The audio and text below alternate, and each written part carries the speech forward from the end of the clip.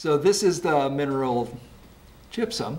Uh, it's pretty easy to tell uh, based on its physical characteristics. And the most important one is hardness. It has a hardness of 2 on the Mohs hardness scale. And your fingernail has a hardness of 3. So your fingernail can scratch it uh, in whatever form the gypsum might be in.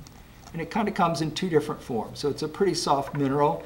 This is called selenite, and it's a sort of colorless, um, clear kind of gypsum. And this one's called alabaster. They're both made of calcium sulfate, just slightly different forms. So it's a non-silicate mineral. It's a sulfate mineral.